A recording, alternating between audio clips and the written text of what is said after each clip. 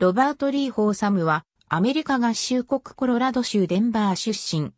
NFL デンバーブロンコスのオーナー、MLB のセントルイス・カージナルスとシンシナティレッズで、ゼネラルマネージャーを務めた。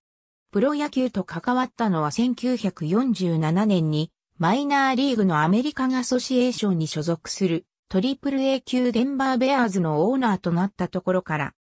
1950年代後半、アメリカンリーグ、ナショナルリーグに次ぐ大リーグ、第3のリーグとして、ロサンゼルスドジャースのオーナーであるブランチ・リッキーが、コンチネンタルリーグの創設を提唱すると、ホーサムはその計画に賛同。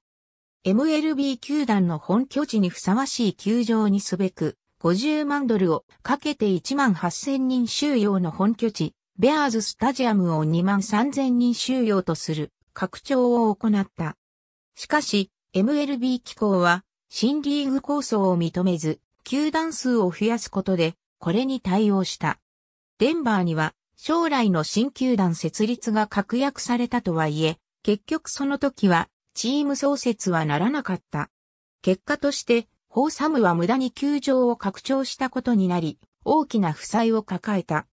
解決策を模索したホーサムはフットボールに目をつけ、1960年の AFL 設立に参加し、デンバーブロンコスを自らの球場に招き入れた。しかしチームの成績は芳しくなく、負債も一向に減らないので、ホーサムは AFL から撤退し、球場も地元自治体に売却した。そしてホーサムは再び野球界に戻った。しかし、今度はオーナーではなく、GM として、セントルイス・カージナルスとシンシナティレッツで活躍することになる。特にレッツでの11年間は、監督のスパーキー・アンダーソンと共にビッグレッドマシンと呼ばれた強力なチームを作り上げている。一方、ホーサムが創設したブロンコスも1970年代から成績が上向いてきたため、チケット販売も増加していった。球場はどんどん拡張され、収容人数が7万人を超えるようになった。そして、黄金時代は1990年代後半に訪れ、1997年から2年連続でスーパーボール優勝を果たしている。GM 引退後の1993年には、コロラドロッキーズが MLB に新規参入し、故郷デンバーに MLB 球団ができるという長年の夢が実現する。